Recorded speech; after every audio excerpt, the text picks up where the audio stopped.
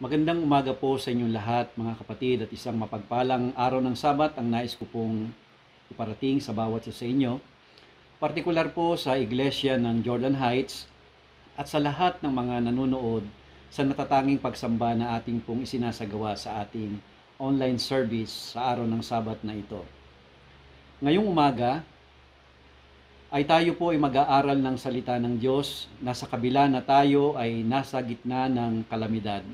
Minabuti ng Panginoon na tayong lahat ay pagtipunin-tipunin sa isang natatanging ah, pagganap at paglilingkod. Sa pamamagitan nito ay ating may paparamdam sa bawat isa ang init ng pananampalataya at ang ating pagmamahal sa Diyos sa kabila na tayo bilang isang iglesia ay nagkahiwa-hiwalay sa pisikal na kalagayan. Subalit patuloy naman tayong itinatali ng Panginoon sa iisang pag-ibig at pagmamalasakit.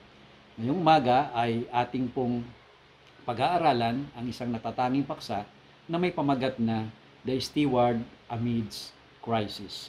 Tayo pong lahat ay aking inanyayahan na pansamantalang yumuko sa isang panalangin.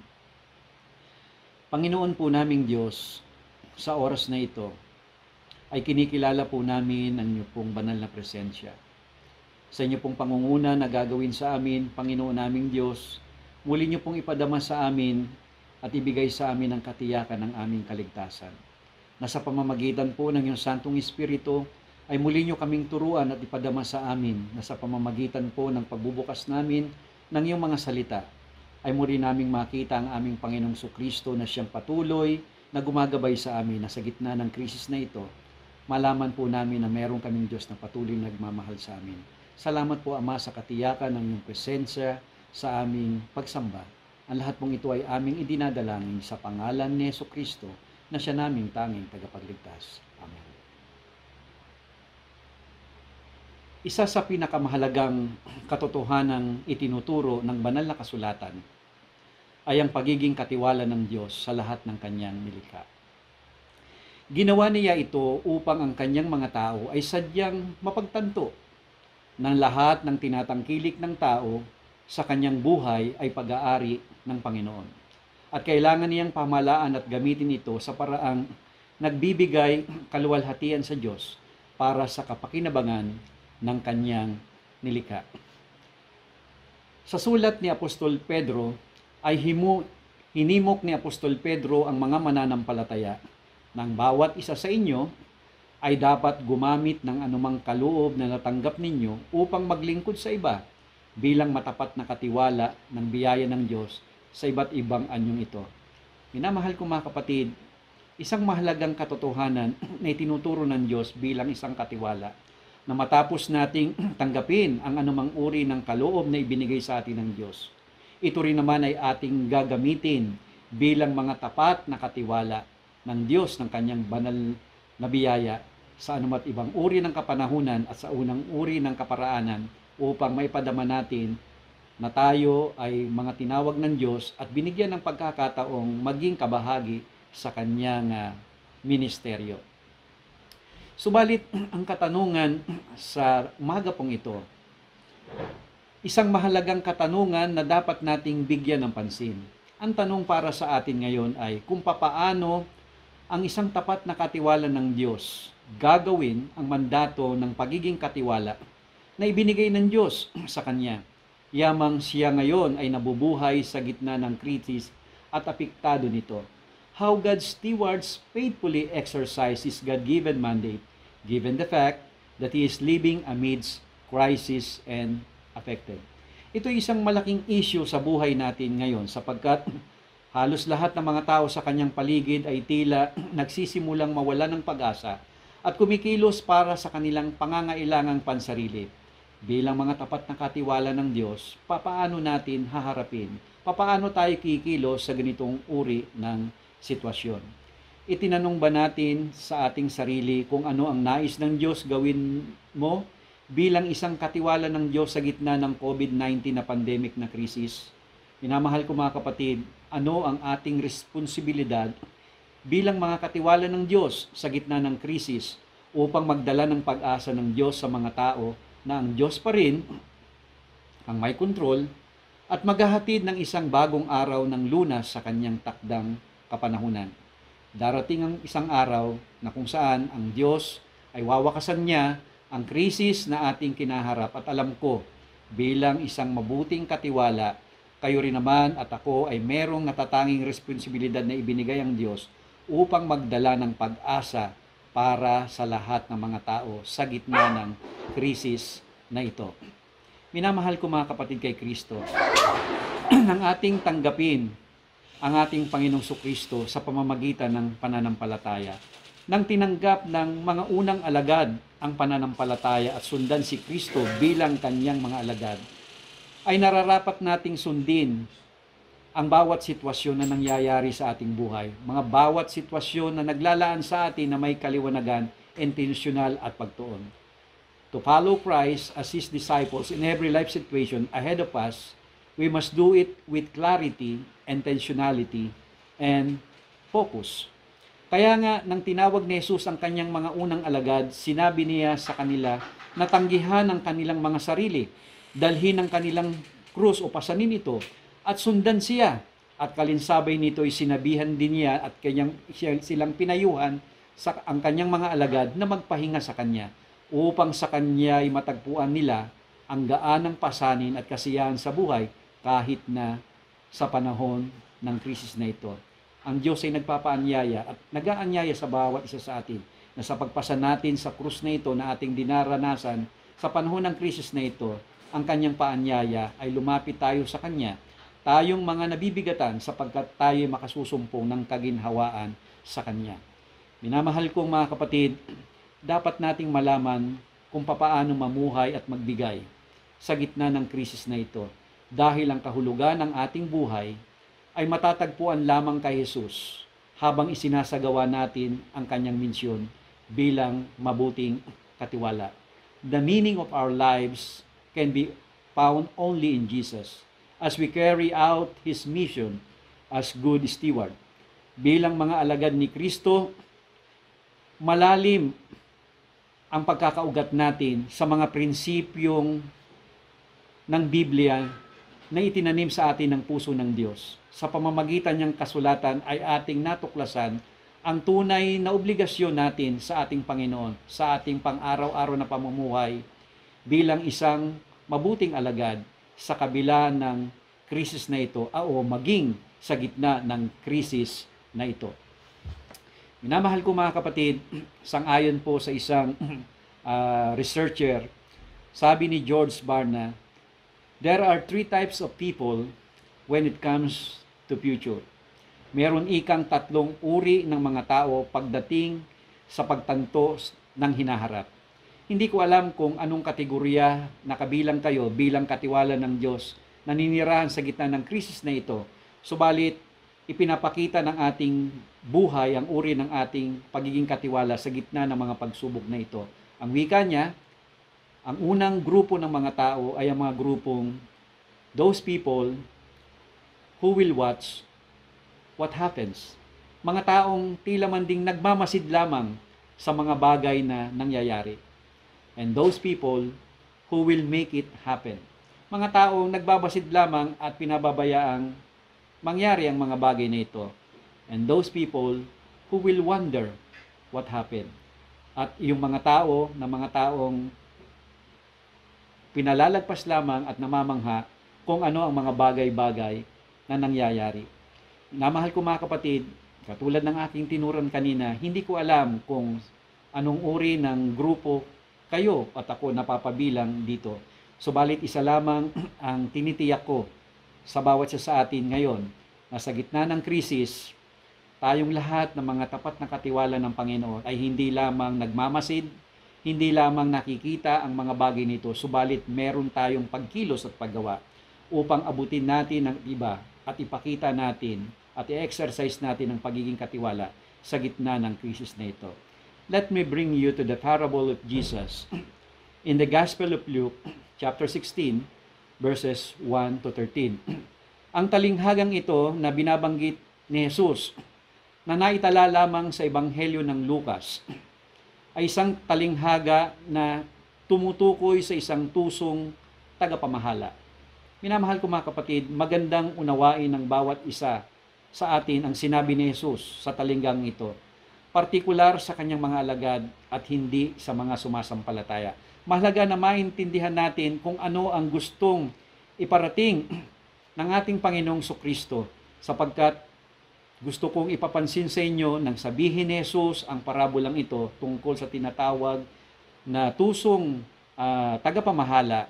Sinabi niya ito upang makita natin ang mahalagang leksyon na dapat nating matutunan at kung paano natin makikita at kung paano tayo kikilos essentially bilang mga tapat na katiwalang pinagkatiwalaan ng Diyos sa mundong ito na nalalaan naman para sa tinatawag na walang hanggang buhay na inilalaan ng Panginoon.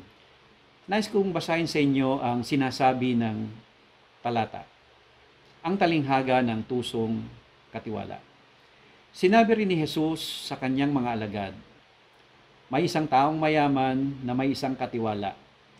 May nagsumbong sa kanyang nilulustay niya ang kanyang ari-arian. Kaya't ipinatawag siya ang katiwala at tinanong, Ano ba itong naririnig ko tungkol sa iyo? Ibigay mo sa akin ang ulat ng iyong pangangasiwa sapagkat tatanggalin na kita sa iyong tungkulin.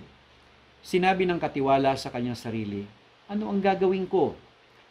Aalisin na sa akin ng aking amo ang pangangasiwa. Hindi ko kayang magbungkal ng lupa. Nahihiya naman akong magpalimos. Alam ko na ang aking gagawin.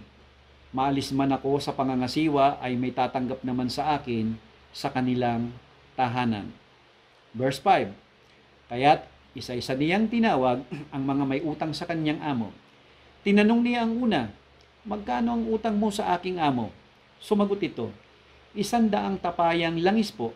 Kaya sabi ng katiwala, heto ang kasulatan ng iyong pagkakautang. Dali, maupo ka't palitan mo, gawin mong limampu. At tinanong naman siya ng isa, ikaw, gaanong utang mo? Sumagot ito, isang daang kabang trigo po. Heto ang kasulatan ng iyong pagkakautang, sabi niya. Isulat mo, walumpo. Verse 9, Pinuri ng amo ang mandarayang katiwala dahil sa katusuhang ipinamalas nito sapagkat ang mga makasanlibutan ay mas tuso kaysa mga makadiyos sa paggamit ng mga bagay ng mundong ito. At nagpatuloy si Jesus sa pagsasalita. Kaya't sinasabi ko sa inyo, gamitin ninyo ang kayamanan ng mundong ito sa paggawa ng mabuti sa inyong mga kapwa, upang kung maubos na iyon ay tanggapin naman kayo sa tahanang walang hanggan. Ang mapagkakatiwalaan sa maliit na bagay ay mapagkakatiwalaan din sa malaking bagay ang mandaraya sa maliit na bagay ay mandaraya rin sa malaking bagay. Verse 11 and 12. Kaya kung hindi kayo mapagkakatiwalaan sa mga kayamanan ng mundong ito, sino ang magtitiwala sa inyo ng tunay na kayamanan? At kung hindi kayo mapagkakatiwalaan sa kayamanan ng iba, sino ang magbibigay sa inyo ng talagang para sa inyo? And last verse, walang aliping maaaring maglingkod sa dalawang Panginoon sapagkat kamumuhuyan niya ang isa at iibigin ang ikalawa. Paglingkuran ng tapat ang isa at hahamakin ang ikalawa. Hindi kayo maaaring maglingkod sa Diyos at sa kayamanan.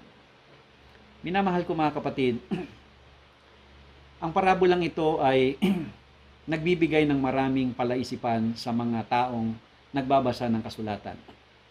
Hindi ko alam kung hindi ka na intriga o nag-usisa ng una, nang una mong marinig o nabasa ang parabola ng tusong tagapamahala.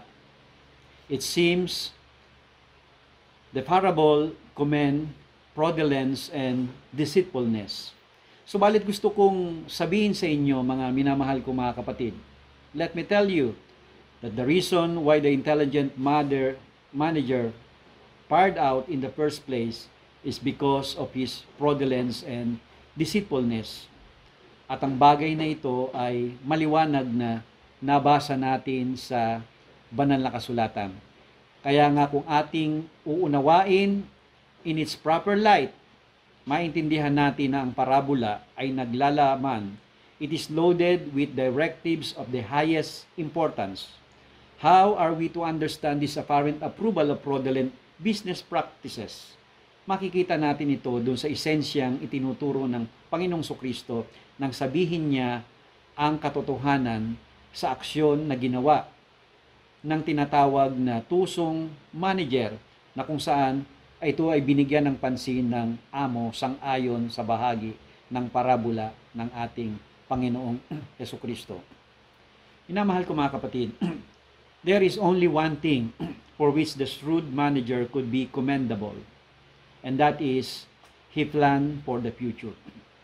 Kung meron mang isang bagay na maaring kapuri-puri na masasabi na binabanggit ng parabolang ito sa matalinong tagapamahala o tusong tagapamahala, ito ay ang kanyang plano o kanyang mahusay na pagpaplano para sa kanyang hinaharap. Gumawa siya ng mga hakbang upang matiyak na magkakaroon pa rin siya ng mga kaibigan matapos ang kanyang pamamahala. Kumilos siya at nagplano sa hinaharap sa kasalukuyan at ito'y tumutukoy sa tinatawag na patungkol sa mga bagay sa hinaharap. The shrewd manager could be commendable that he planned for the future, acted for them instead of now. Inamahal ko mga kapatid, that is the point of the parable. Iyon ang punto ng parabola. Ang mga makamundong tao ay gumagawa ng matinding pagkilos ng paglalaan sa mga darating na araw. Ang hinaharap lamang nila ay ang pag-aalala ng kanilang katandaan at ang kanilang mga taon ng kanilang o nalalapit na taon ng kanilang pagreretiro. Worldly people take forceful action to provide for the days ahead and the only future they are concerned about is their old age, their years of retirement, mga bagay na kanilang ginagawa. And so they work diligently to make sure that they will be comfortably situated when they are no longer able to carry on gainful employment. Kaya nga, ginawa niya ito upang matugunan ang iniisip niyang mangyayari sa kanyang hinaharap. At dito sa bahaging ito, tila man din nalamangan ng tusong manager ang mga anak ng kaliwanagan. At ito ang punto na sinasabi ng parabolang ito sa katuruan ng ating Panginoon Kristo. Minamahal ko mga kapatid, tayo ay mga anak ng liwanag. At dapat nating ipakita ang higit na katalinuhan kaysa mga anak ng sanlibutan. Ito ay sa kung saan ipinakikita sa atin ng parabola ang maling pagtaya ng bahagi ng mga anak ng liwanag. The Christian's future is on this earth, but in heaven, eternity with Christ. The future for an unbeliever means the time between now and the grave. As good stewards, we must realize that the Christian future is not on this earth, but on heaven. Mahalaga na makita natin ito bilang mabuting katiwala. Kinakailangang maging malinaw sa atin ito ng mahalagang punto ng hinaharap natin ay hindi para lamang sa kasalukuyan kundi sa hinaharap na kung saan nakita sa parabolang ito ang isang bagay na hindi napaghandaan ng mga tinatawag na anak ng liwanag. Minamahal ko mga kapatid, itinuturo ng talinghaga na ang tinatawag na mga unregenerated, unregenerate na mga tao ay mas matalino at agresibo sa paghahanda para sa kanilang kinabukasan sa mundo kaysa sa mga Kristiyano para sa kanila sa langit. Ang regenerate are more wise and aggressive in preparing for their future on earth than Christians are for theirs in heaven. Talagang nagsusumikap sila para mapaghandaan ang kanilang future dito sa lupa. But how about as Christians? Tayo ba ay masigasig din na pagsikapan at paghandaan ang ating future na nalalaan, na inilalaan ng Diyos sa atin sa kalangitan? Kaya mahalagang punto na dapat nating maunawaan sa pagsasalarawan at pagkilos ng tinatawag na katiwala sa parabolang ating pinag-aaralan. And there are practical applications of the parable that we need to emphasize na dapat nating matutunan sa ating pag-aaral sa umagang ito. Nais kong balikan natin ang talatang uh, ah, 9 ng parabolang ito at ating muling bigyan ng pansin ang mahalagang leksyon na dapat nating matutunan verse 9. At nagpatuloy si Jesus sa pagsasalita. Kaya sinasabi ko sa inyo, gamitin ninyo ang kayamanan ng mundong ito sa paggawa ng mabuti sa inyong mga kapwa, upang kung maubos na iyon ay tanggapin naman kayo sa tahanang walang hanggan. Minamahal ko mga kapatid, ito ang isang dakilang katotohanan na dapat nating maunawaan. Ang mga salapi at talento na ipinagkaloob sa atin ng Diyos dito sa lupa ay ginagamit sa pagpapalaganap ng Ebanghelyo sa anuman at sa lahat ng kaparaanan. Ang tanging paraan upang mailaan natin ang ating mga kayamanan sa langit ay ilagay ang mga ito sa isang bagay na papuntang langit. This is why the wise steward plans for his future, not expending their little lives in vain quest for security on earth, but in a passionate endeavor to be surrounded in heaven by friends who were won to Christ through their money. Kaya mahalaga na itong tinatangkilik na ito na sa gitna ng krisis na ito, sa gitna ng mga pagpapalang ating tinatanggap, sa kabila ng tinatawag na kasimplihan ng mga bagay na ito, may magagawa pa rin tayo upang ibalik natin sa Panginoon ang tapat nating paglilingkod upang abutin ang mga tao at maihanda sila kasama rin tayo na naghahanda. Verse 10. Ang mapagkakatiwalaan sa maliit na bagay ay mapagkakatiwalaan din sa malaking bagay.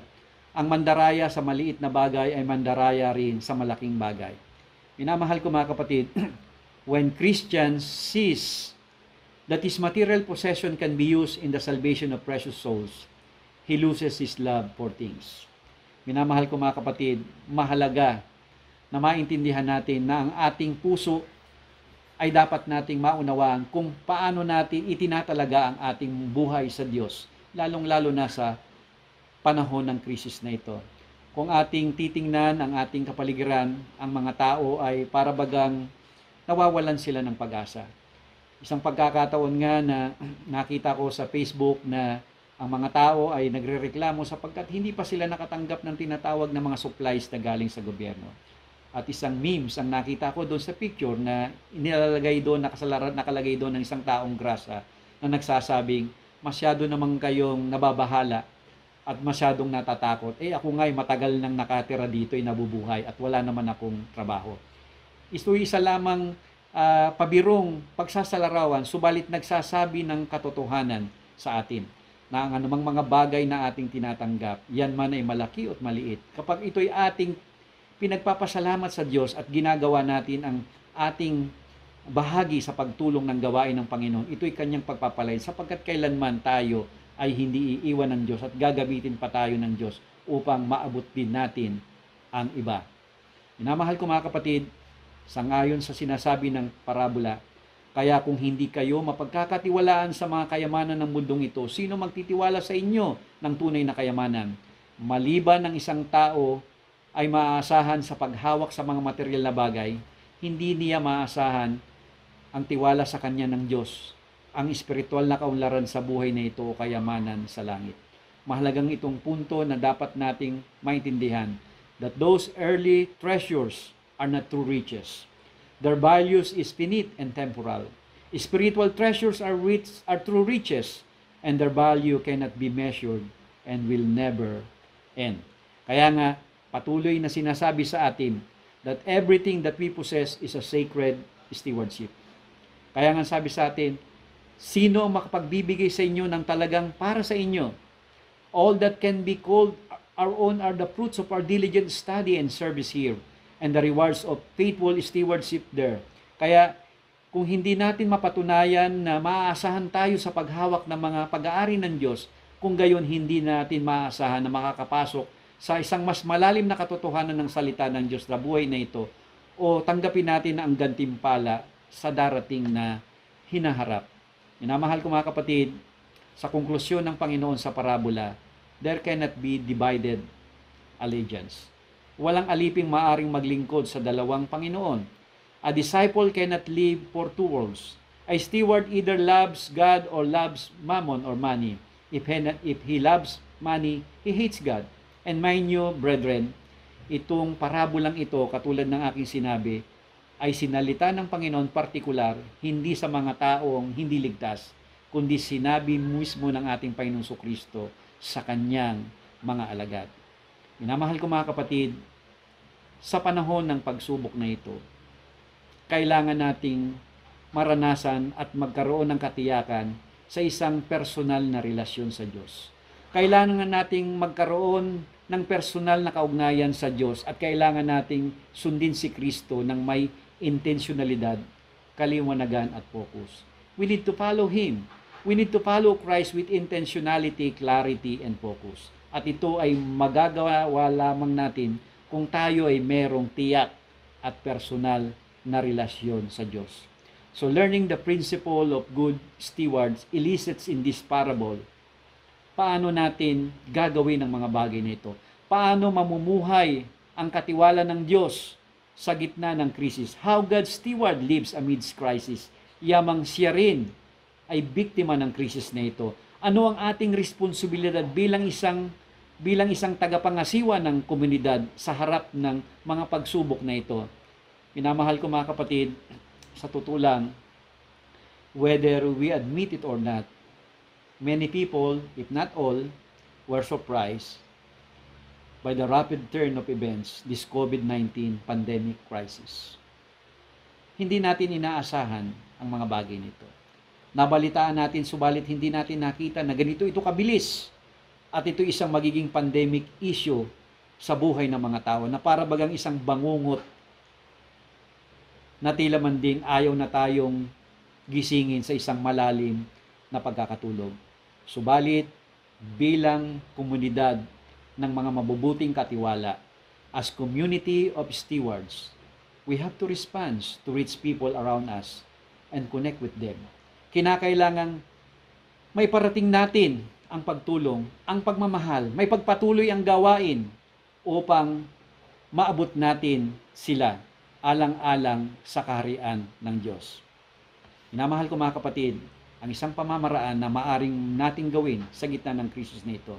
Amid crisis, we can be a responsible social media stewards that promote faith in God. The use of social media is the number one available platform to connect one another amidst crisis. And we can be responsible social media stewards that promote faith in God. Ang sabi nga ng isang uh, isang uh, social uh, media advocate, ang sabi ni Connor Daniel Cole, ang sabi niya ganito, social media can be a powerful tool to create change. But when used improperly or carelessly, it can be an instrument to spread fear, hate, and various untruths. Inamahal ko mga kapatid, kamustahin natin ang ating mga sarili tungkol sa paggamit natin ng social media sa panahon ng krisis na ito. Kung paano tayo nagiging instrumento, kung paano tayo nagiging kasangkapan, tayo ba ay nagiging instrumento sa pagpapalaganap ng katatagan at pag-asa sa lipunan ng ating ginagalawan bilang isang responsableng katiwala ng Panginoon. Minamahal ko mga kapatid, sa bawat tikatik ng orasan at sa bawat mga panahong lumilipas na tayo ay naka-quarantine, siguro masasabi natin na ngayon lamang sa kapanahunan natin, parang ang lahat ng mga tao, bata at matanda, ay tumututok sa tinatawag na platform ng social media bilang mga responsableng mga katiwala ng Diyos, maging bahagi tayo ng paghahayag ng katotohanan ng Diyos sapagkat sa kabila ng krisis na ito, pwede nating gawin ang mga bagay na ito at maging excel at i-excel ang ating ang ating uh, gifts na ibinigay sa atin ng Diyos sa pamamagitan ng pagbibigay sa kanila ng mga pag-asa ng galing sa ating Panginoon.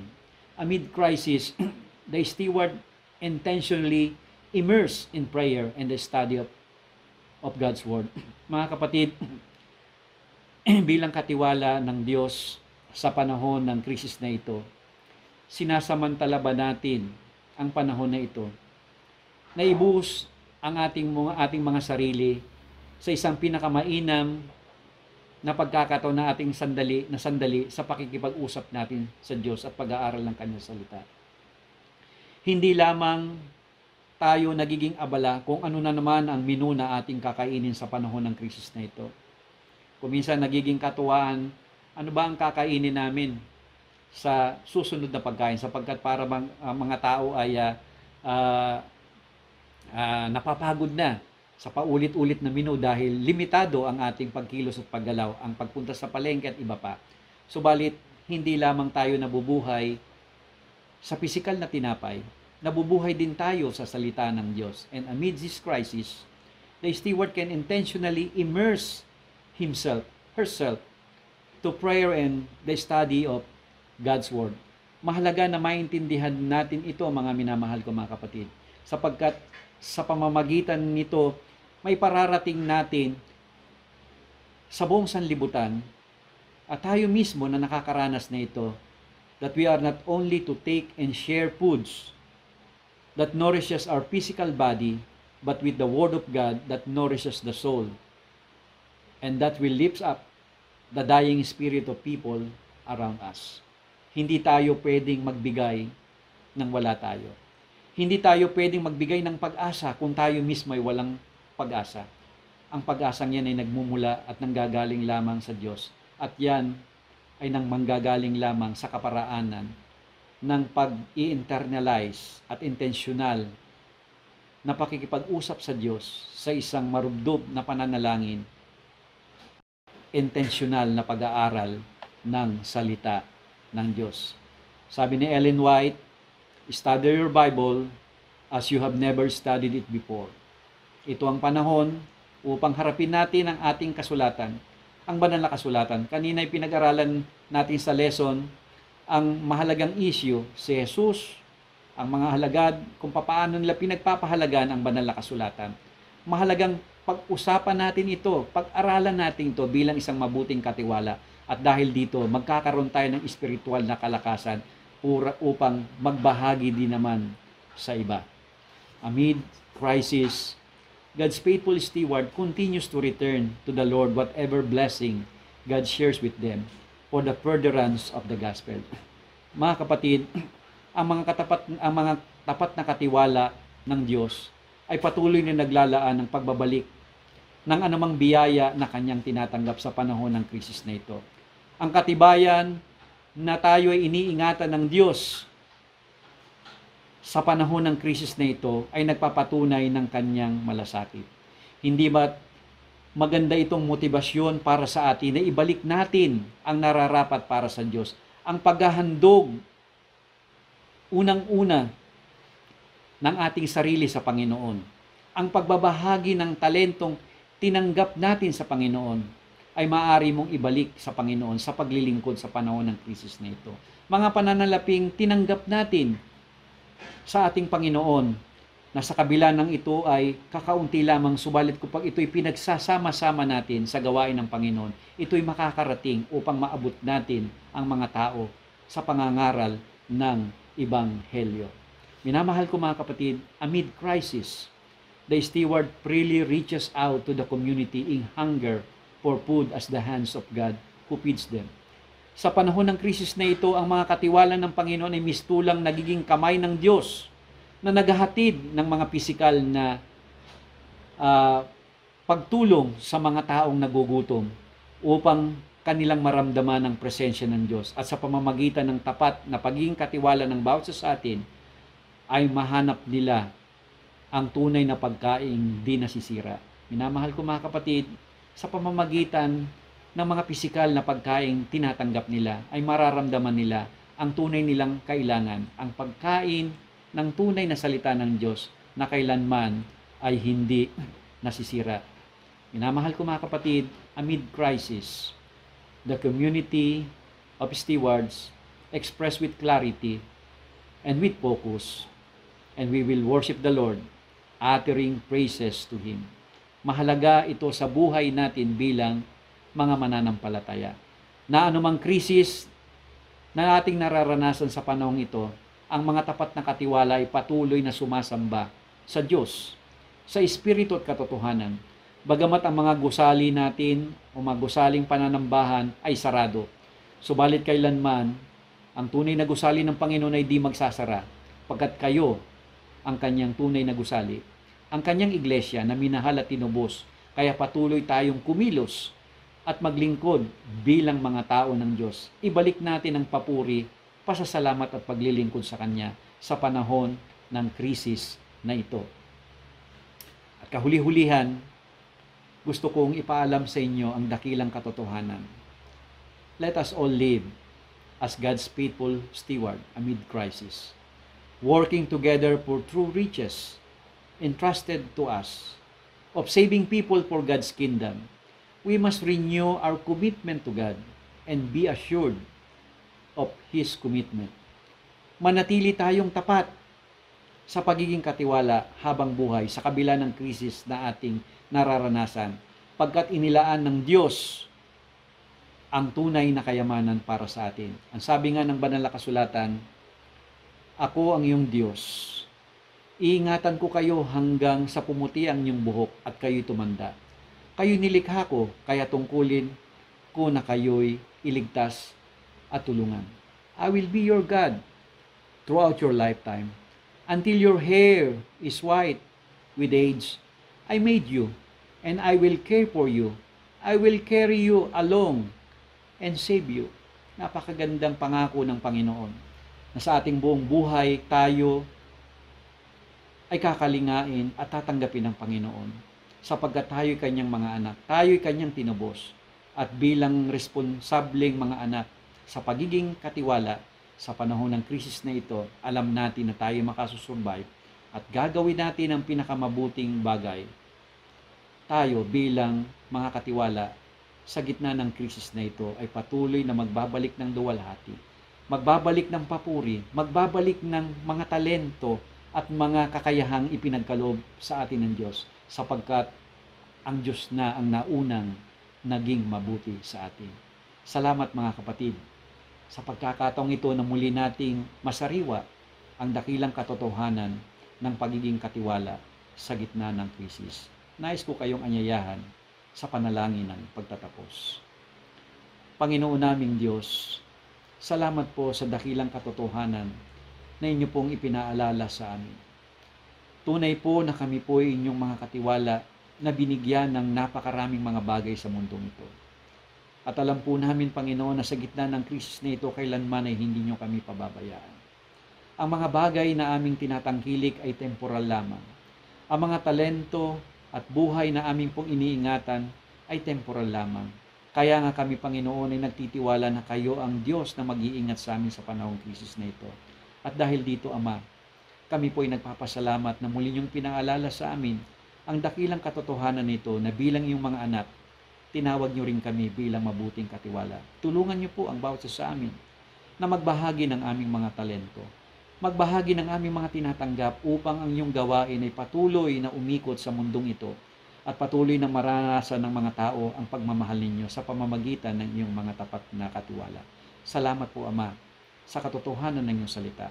Salamat po kay Heso Kristo na nag-iisang tagapagligtas na ibinigay niya ang kanyang buhay alang-alang sa amin. Salamat po sa pagliligtas at katiyakan nito na ipinagkalob niyo po sa amin. Ang lahat pong ito, Ama, ay aming dinadalamin sa pangalan ni Heso Kristo na siya naming tanging tagapagligtas. Pagpalain po tayo ng Panginoon, mga minamahal ko mga kapatid, sa umagang ito. Isang maligayang araw ng Sabat ang nais ko pong muling iparating sa inyo. God bless you all.